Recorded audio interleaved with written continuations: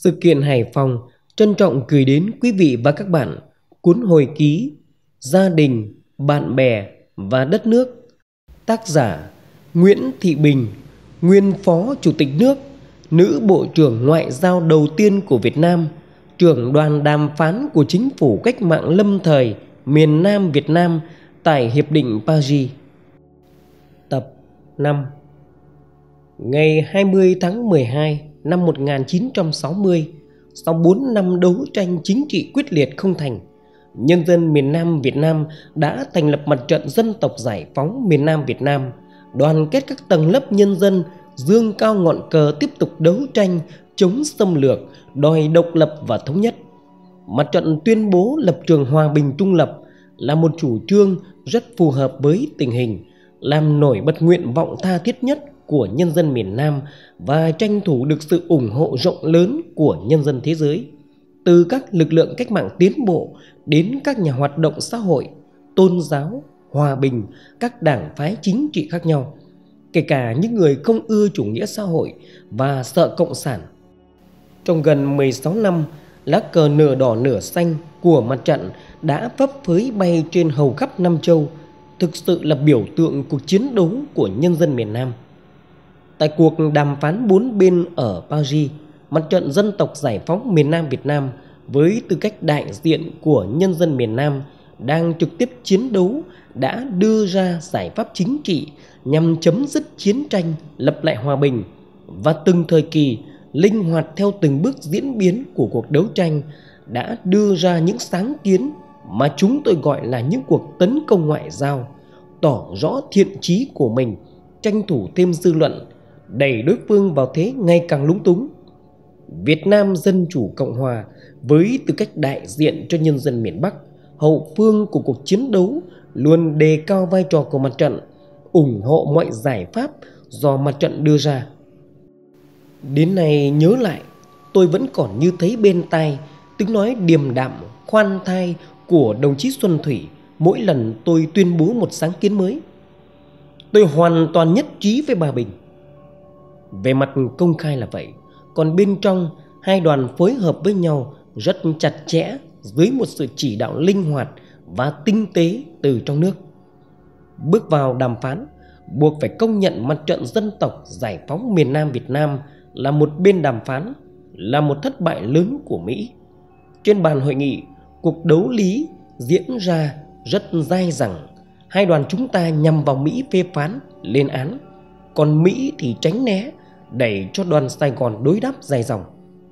Sau 5 tháng hội nghị, ngày 8 tháng 6 năm 1969, Tổng thống Nixon tuyên bố chính sách Việt Nam hóa chiến tranh để lộ ý đồ dùng người Việt đánh người Việt.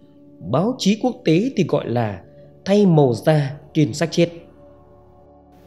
Trung tâm Hội nghị Quốc tế Kleber của Pháp nằm trên đường Kleber, cách Khải Hoàn Môn gần trăm mét ở chính giữa thủ đô Paris. Tòa nhà kiến trúc hơi xưa, không rộng lắm nhưng rất uy nghi. Một cây sảnh dẫn đến phòng họp lớn. Xung quanh có bốn phòng làm việc, có hai cửa chính đi vào. Đoàn Mỹ và chính quyền Sài Gòn cùng vào một cửa. Đoàn Việt Nam Dân Chủ Cộng Hòa và Mặt trận Dân tộc Giải phóng miền Nam Việt Nam một cửa. Phiên họp đầu tiên là sự kiện quan trọng, có thể nói cả thế giới đều hướng về nơi đây mong hội nghị sẽ sớm tìm ra giải pháp chấm dứt cuộc chiến tranh đã gây biết bao đau thương hơn chục năm trời. Các nhà báo đến rất đông. Nhân dân Paris, đặc biệt đông đảo kiều bào ta với lá cờ đỏ sao vàng và cờ xanh đỏ của mặt trận hân hoan chào đón hai đoàn chúng tôi. Lạc Đạc cũng có mấy lá cờ ba sọc của chính quyền Sài Gòn. Khó nói hết được cảm xúc của bà con Việt Kiều trước cảnh lá cờ của Tổ quốc và của mặt trận xuất hiện giữa Paris lại trong ngày diễn ra một sự kiện trọng đại gắn liền với cuộc chiến đấu gian nan và anh hùng của nhân dân ta. Biết bao nhiêu xương máu đã đổ dưới hai ngọn cờ vinh quang này. Có cụ phụ lão Việt Kiều nghẹn ngào tâm sự. Bao nhiêu năm nay, chúng tôi đâu có quyền được phất lá cờ này. Có người đã vì nó mà phải bị bắt bớ tù đầy. Nay thấy đại diện của ta dương cao ngọn cờ của đất nước được cả cảnh sát Pháp hộ tống đi giữa Paris, còn vui sướng nào bằng. Còn chúng tôi được vinh dự thay mặt nhân dân hai miền đang chiến đấu để đến đây, chúng tôi hiểu sâu sắc dù nhiệm vụ của chúng tôi có khó khăn đến mấy cũng không thể so sánh được với sự hy sinh của đồng bào chiến sĩ ta trên chiến trường. Nhưng tiền tuyến ngoại giao này cũng là một mặt trận cố gắng góp phần đắc lực nhất cho thắng lợi của chiến trường. Trong suốt 4 năm liền, cứ mỗi ngày thứ năm hàng tuần, hai đoàn chúng tôi đến trung tâm hội nghị Kleber chính là để làm nhiệm vụ đó. Nhiệm vụ vạch trần âm mưu xâm lược của Mỹ trước dư luận thế giới, làm rõ chính nghĩa vì độc lập, tự do và thống nhất của nhân dân ta. Trong các phái đoàn ở hội nghị, điều đáng chú ý là ba đoàn không có thành viên nữ, chỉ đoàn mặt trận dân tộc giải phóng miền Nam Việt Nam có. Đội quân tóc dài tại Paris, đoàn chính quyền Sài Gòn lúc đầu có Nguyễn Thị Vui, nhưng sau không thấy xuất hiện nữa. Cũng khá lý thú là chuyển thiết bị kỹ thuật.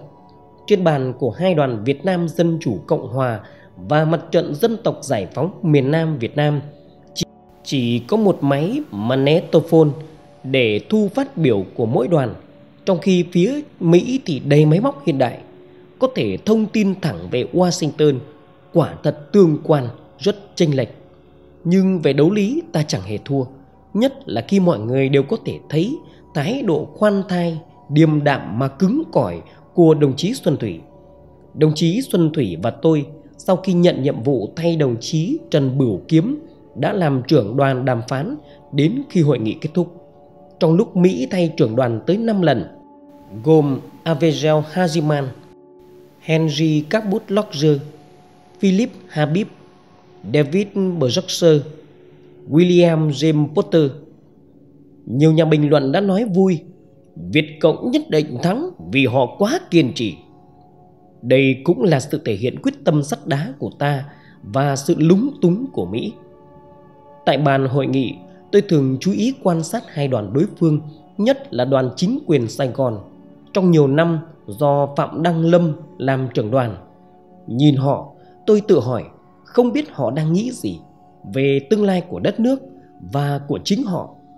Sự thật là thái độ của Lâm và nhiều người trong đoàn chính quyền Sài Gòn – không tỏ ra thù địch với chúng tôi. Sau này tôi được biết Phạm Đăng Lâm quê ở Bến Tre và có nhiều bản thân trong hàng ngũ của mặt trận. Tên kỷ dậu, bà con Việt Kiều tại Pháp tổ chức rất linh đình và đặc biệt để chào mừng hai đoàn Việt Nam Dân Chủ Cộng Hòa và Mặt trận Dân tộc Giải phóng miền Nam Việt Nam.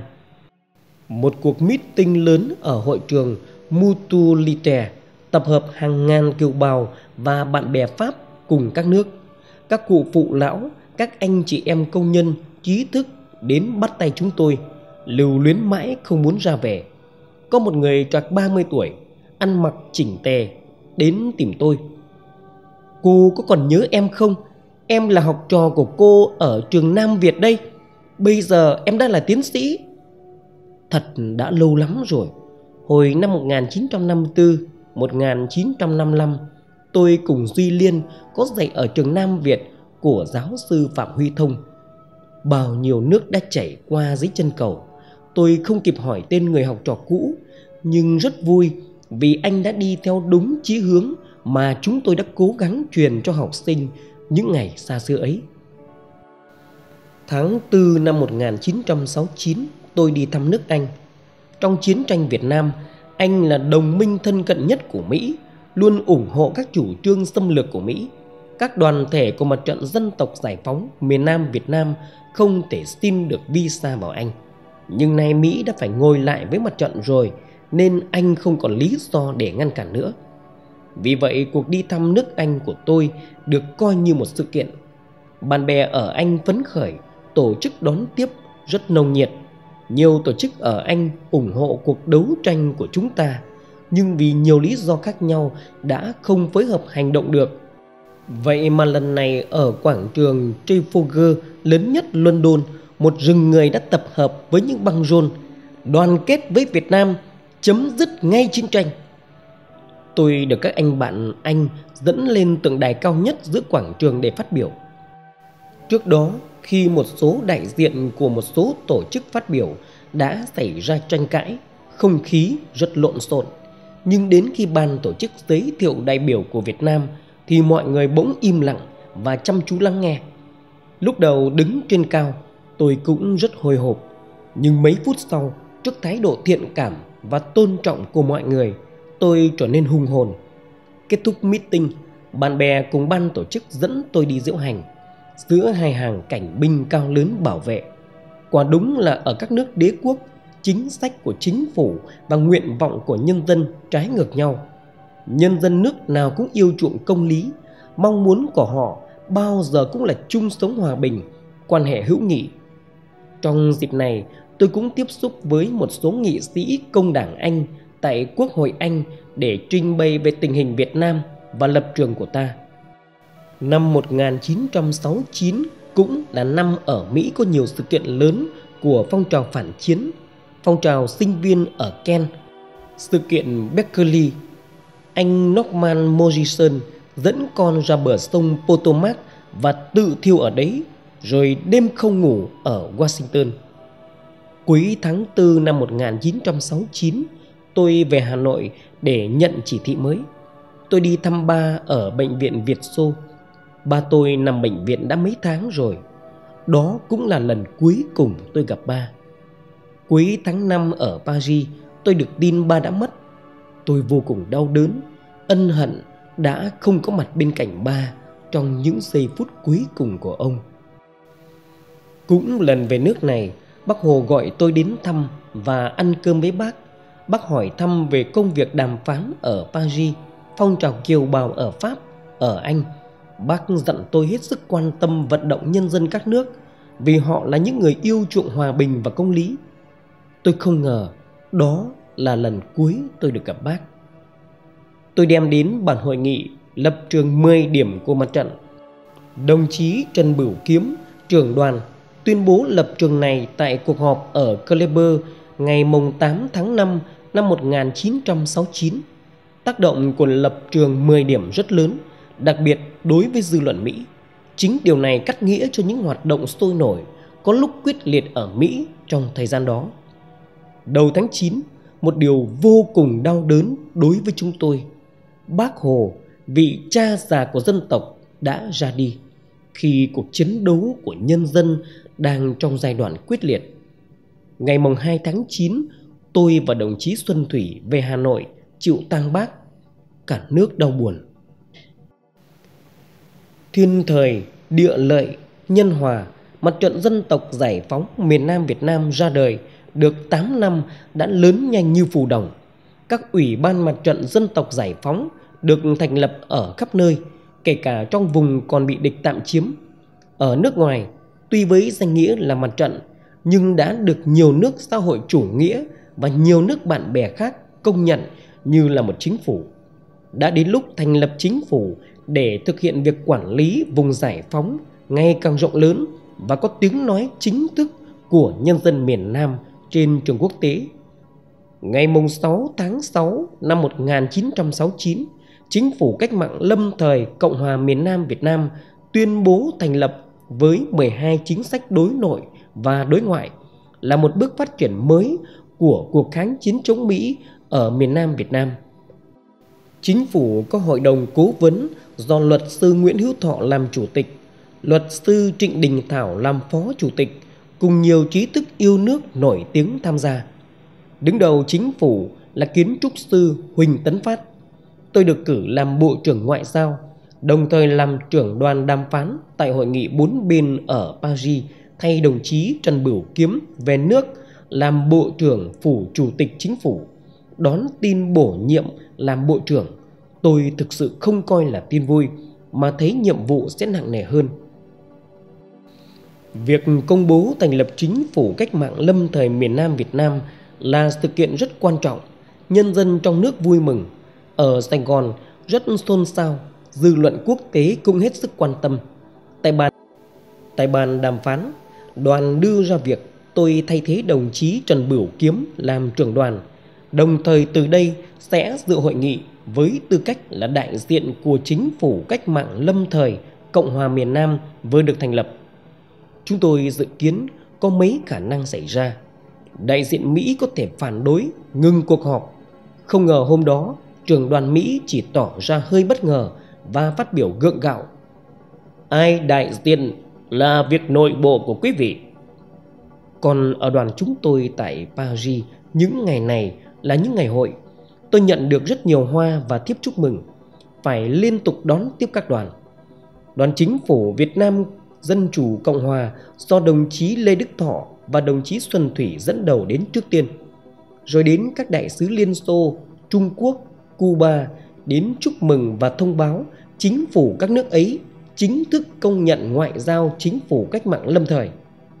Hội Liên hiệp Việt Kiều ở Pháp, Đảng Cộng sản Pháp cùng các đoàn thể phụ nữ, thanh niên, công đoàn liên tiếp đến.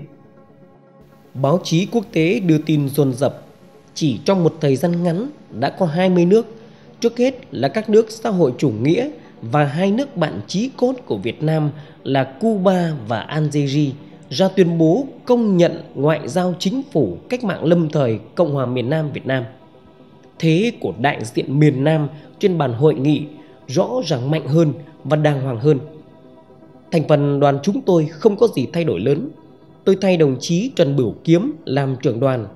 Các đồng chí Đinh Bá Thi và Nguyễn Văn Tiến là phó trưởng đoàn. Chị Duy Liên cũng về nước, nhưng đoàn lại được tăng cường chị Nguyễn Thị Trơn và năm sau là Phan Thị Minh. Tại Paris, đoàn chúng tôi có trụ sở tại Vergières Le Buisson, đường Camba CZ và một bộ phận tại Massy, cách đó 5-6 cây số trong một khu lao động. Toàn bộ đoàn không quá 30 người, kể cả cán bộ, nhân viên giúp việc. Riêng ở Vergières Le chỉ có 10 người. Tôi, Bình Thanh và vài đồng chí lễ tân bảo vệ. Đây là một biệt thự cũ nhưng xinh xắn, nằm trên một khu đồi rộng. Từ đó nhìn xuống hồ nước có mấy con thiên nga bơi lội, rất nên thơ. Sau nhà là một vườn nhỏ với khoảng chục cây sơ ri. Buổi chiều chị em trong đoàn thường thích ra hái quả ăn và trò chuyện. Trước dãy nhà sau bếp, đồng chí cấp dưỡng có trồng mấy luống rau cải và nuôi mấy con gà.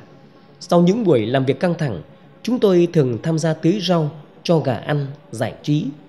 Chúng tôi đã sống tại biệt thự Vergières Lebuson gần 5 năm cùng với năm đời thiên nga trong hồ. Cũng là 5 năm lịch sử khó quên. Phục vụ việc đi lại hoạt động của đoàn, chúng tôi được chính phủ Pháp cử cảnh sát hộ tống. Trưởng đoàn được một xe cảnh sát, bốn mô tô hộ tống hai bên. Nếu đi cả đoàn như những hôm họp ở Kleber thì phải 8 mô tô. Đảng Cộng sản Pháp là tổ chức giúp đỡ đoàn nhiều nhất. Chúng ta chỉ có một số cán bộ bảo vệ từ trong nước sang, còn tất cả các đồng chí bảo vệ khác và cả lái xe đều do Đảng Cộng sản Pháp phái đến giúp đoàn, không công. Hầu hết thành viên của đoàn là cán bộ chính trị từ nhiều địa phương, nhiều ngành đến, chỉ có một đồng chí quân sự. Chúng tôi làm việc với nhau rất đoàn kết, mọi người chỉ đinh ninh một tâm niệm vì miền Nam ruột thịt vì những người thân yêu đang chiến đấu ở quê hương phải làm điều tốt nhất nhiệm vụ của mình. Bình Thanh, cô thư ký rất nhạy cảm của tôi thường nói Đây là một tập thể yêu thương. Chúng tôi ít đi chơi, chỉ thỉnh thoảng cả đoàn rủ nhau ra công viên hay vào rừng hái nấm. Bên masti có hai bàn bóng bàn. Chiều nào anh em cũng đánh bóng hay chơi bì sắt.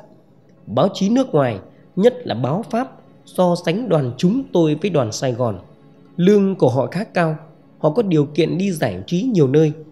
Có báo viết cơ quan chúng tôi như một nhà tu, nam giới không có vợ đi theo, nữ cũng không có chồng đi theo. Chúng tôi sống rất đạm bạc, tiết kiệm. Có những nhà báo muốn quay phim cảnh sinh hoạt ăn ở của trưởng đoàn Việt Cộng. Chúng tôi kiên quyết từ chối, lấy lý do phong tục Việt Nam không cho phép đưa công khai sinh hoạt riêng của người phụ nữ. Thực tế là chúng tôi khó lòng cho họ xem chỗ ở của chúng tôi và Bình Thanh trên các thượng sắt mái chỉ có hai cái giường sắt như ở bệnh viện. Có nhà báo tò mò hỏi tôi đi may áo dài ở đâu, làm tóc ở đâu, chăm sóc sắc đẹp ở đâu. Tôi tìm cách đối đáp cho qua chuyện. Cũng có phóng viên hỏi soi mói Bà có phải là đảng viên Cộng sản không? Tôi chỉ mỉm cười trả lời. Tôi là người yêu nước. Đảng tôi là đảng yêu nước, Kiên quyết đấu tranh cho độc lập tự do của đất nước. Có nhà báo nhận xét, Tên bà là Hòa Bình, Nhưng bà chỉ nói về chiến tranh. Tôi có thể nói gì khác là lên án cuộc chiến tranh xâm lược của Mỹ và nêu rõ ý nghĩa cuộc chiến đấu của nhân dân ta vì hòa bình và độc lập tự do. Phải khẳng định rằng chúng ta không hề muốn có chiến tranh.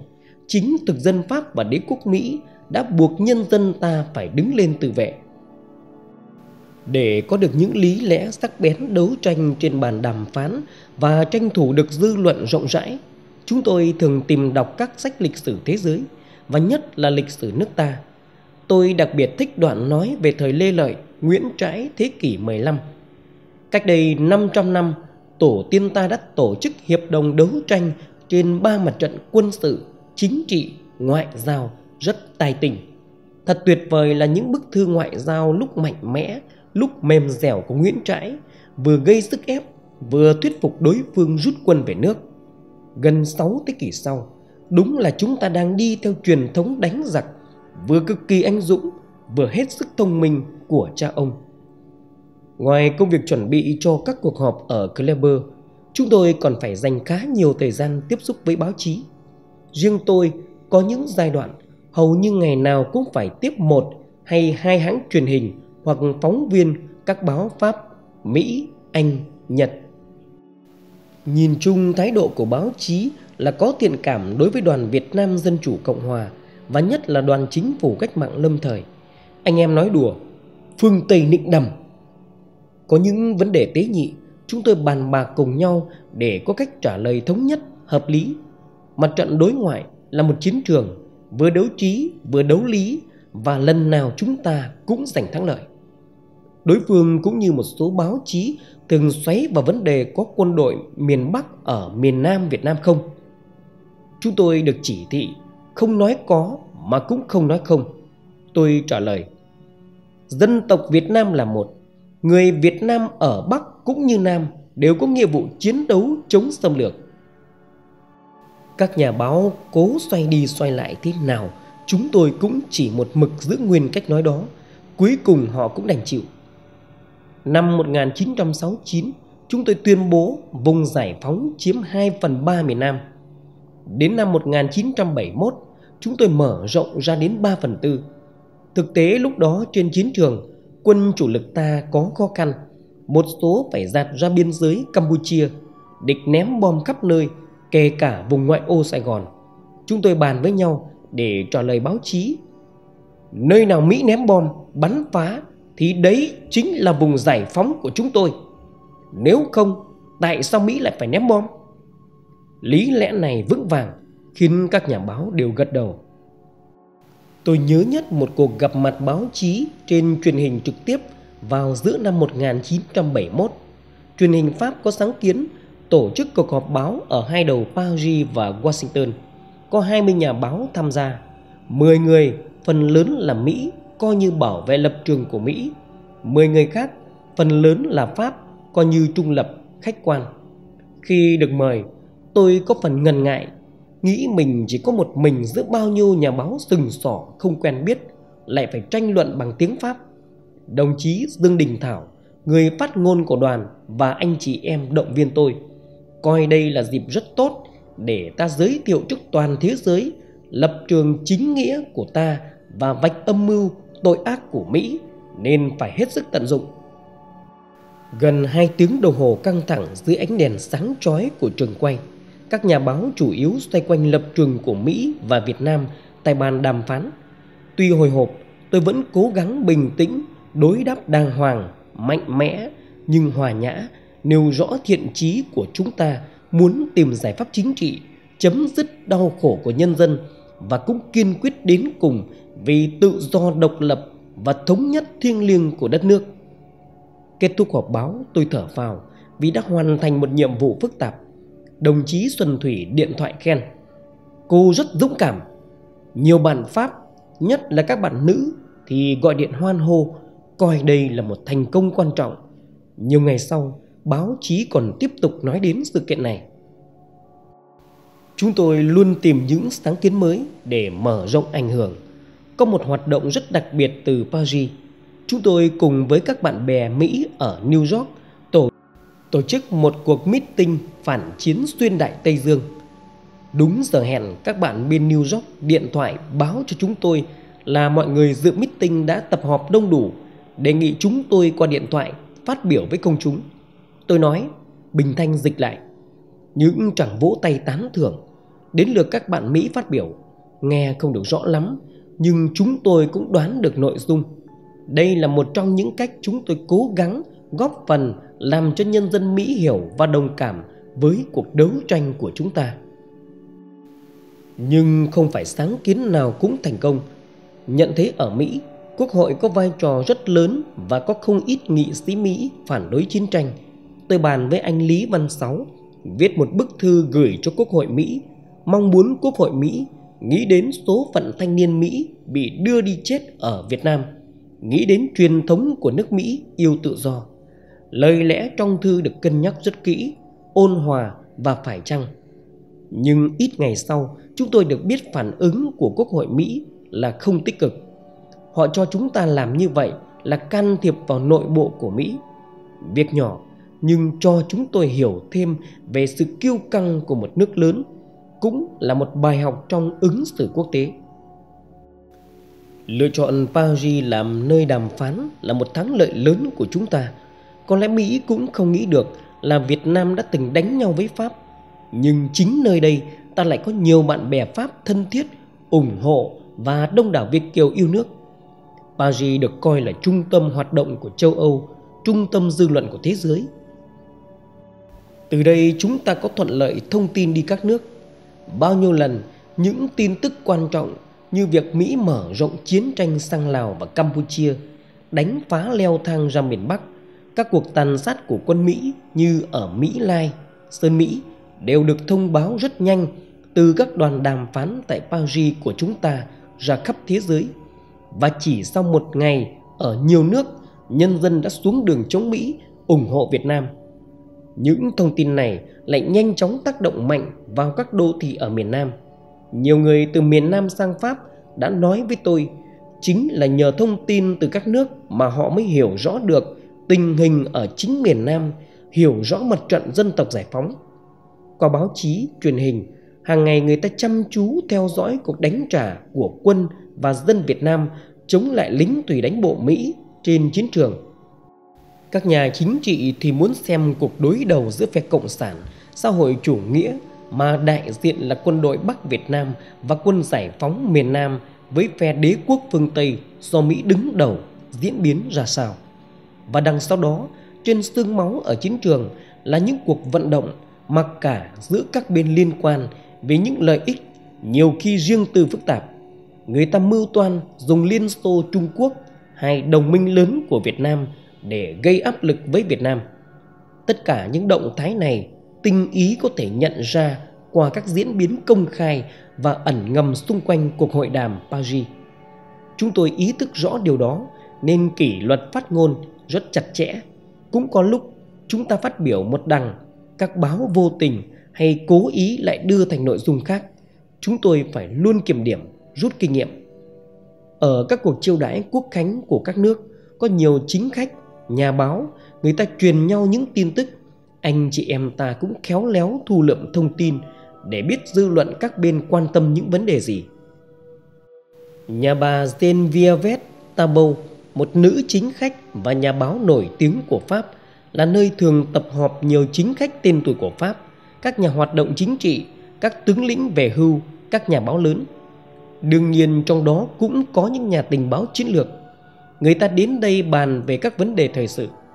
Tôi cùng đồng chí Nguyễn Minh Vĩ, luật sư Trần Công Tường, cô đoàn Việt Nam Dân Chủ Cộng Hòa thường được mời tham gia buổi uống trà chiều thứ bảy. Qua trò chuyện, chúng tôi biết họ rất muốn hiểu ý đồ của ta. Đánh đến đâu thì có thể đàm phán thực sự. Nhiều người cũng để lộ nhận định của những nhân vật trong chính giới Pháp là Mỹ chắc chắn thất bại vì người Pháp trước đây giỏi chiến lược, chiến thuật hơn mà rồi cũng phải chịu thua. Tuy nhiên không phải chính quyền Pháp không muốn làm trung gian đàm phán giữa ta và Mỹ. Họ muốn trong nội các hòa bình sắp tới ở Sài Gòn có những người thân Pháp. Qua một số nhân vật có quan hệ với ta, họ đánh tiếng thăm dò về vấn đề chính quyền miền Nam trong giải pháp chính trị. Mặt khác họ cũng thăm dò phía Mỹ. Nhưng nhìn chung, chính phủ Pháp thận trọng, muốn giữ vai trò nước chủ nhà. Trong quá trình đàm phán, chúng ta có nhiều biện pháp bảo mật, nhưng có lẽ một phần cũng nhờ môi trường chính trị ở Pháp mà tất cả các cuộc tấn công ngoại giao của chúng ta đều đã giữ bí mật được đến phút cuối, tạo được yếu tố bất ngờ, làm đối phương lần nào cũng lúng túng, bị động. Trong hơn 5 năm ở Paris, ngoài công việc liên quan đến cuộc đàm phán, tôi cùng các đồng chí trong đoàn dành thời gian đi thăm các nước, dự các hội nghị, meeting đoàn kết với Việt Nam. Bất cứ nước nào, tổ chức nào mời là chúng tôi tranh thủ đi. Ở Pháp, Ý, châu Phi hay châu Mỹ tận dụng mọi cơ hội để tuyên truyền, vận động các tầng lớp nhân dân, các đảng phái chính trị và các chính phủ. Ở Pháp, nhân dân rất có cảm tình với Việt Nam. Bên cạnh Đảng Cộng sản Pháp đang có ảnh hưởng chính trị to lớn là chỗ dựa vững chắc của chúng ta. Phong trào đoàn kết với Việt Nam thu hút mọi tầng lớp nhân dân. Đặc biệt, một số trí thức lớn tầm cỡ thế giới như nhà văn và triết gia Jean-Paul Sartre, nhà toán học nổi tiếng Laurent Schwartz, luật sư kỳ cựu, chủ tịch Hội luật gia dân chủ quốc tế Joe Norman đều lên tiếng ủng hộ mạnh mẽ cuộc đấu tranh của Việt Nam. Điều đáng chú ý là các nhân vật lớn này có nhiều quan điểm chính trị khác nhau, thậm chí chống đối nhau, nhưng họ đều gặp nhau trong vấn đề Việt Nam. Cuộc chiến đấu anh hùng bất khuất của Việt Nam cũng đã tạo cảm hứng cho nhiều nhà văn, nhà thơ Pháp. Có người đã thốt lên, ước gì sáng thức dậy, tôi là người Việt Nam. Phụ nữ Pháp trong tổ chức Liên hiệp Phụ nữ UFF đặc biệt tích cực và có nhiều sáng kiến ủng hộ Việt Nam. Các chị từng nói đùa, Bình bây giờ có khi còn được nhân dân Pháp biết nhiều hơn Tổng thống Pháp của chúng tôi đấy. Công đoàn CGT cũng rất hăng hái. Tôi nghĩ cần làm cho nhân dân ta hiểu được tất cả những gì các bạn đã giúp ta trước đây, đặc biệt trong thời gian cuộc đàm phán diễn ra ở Paris. Ơn nghĩa này lớn lắm, chúng ta không bao giờ được quên. Từ Pháp sang Ý không xa, phong trào nhân dân Ý ủng hộ Việt Nam cũng rất mạnh, nhất là trong thanh niên và công đoàn. Trong quốc hội, nhiều nghị sĩ cộng sản và các đảng phái khác đã lên tiếng mạnh mẽ đòi Mỹ chấm dứt chiến tranh. Chúng tôi đã nhiều lần đến Bologna, nơi Đảng Cộng sản Ý có nhiều ảnh hưởng. Tôi được mời đến Quốc hội trình bày tình hình cuộc chiến tranh ở Việt Nam. Ở đây có phong trào ủng hộ máu cho y tế Việt Nam. Các đoàn của ta đến thăm được xem là khách quý, được xe cảnh sát dẫn đường như đối với nguyên thủ quốc gia. Các đồng chí Trương Tùng, Hà Đăng thường nhắc lại những chuyến đi lịch sử đến Bologna. Quý vị nhớ đăng ký kênh để không bỏ lỡ những video mới nhất. Cảm ơn quý vị và các bạn đã quan tâm theo dõi.